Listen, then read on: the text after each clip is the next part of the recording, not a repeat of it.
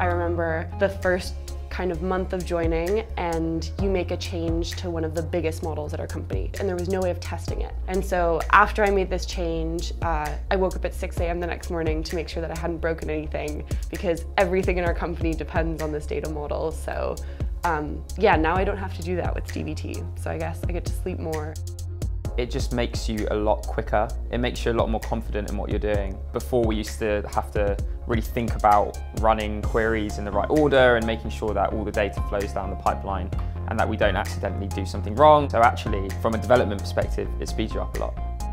I can have the treasurer or the CFO or the head of regulatory reporting come to me as, as the representative of, of the data community, make an ask that can be fairly urgent um, and needs to be very, very accurate and, and protected against, against failure. And I'm able to then leverage DBT to provide them with the, the results they need fast. The power that DBT gives you to actually have my own personal playground where I can you know, test things, break things, but without it actually impacting the wider business. It just enables you to move at a much faster pace and also in a, in a safer way as well.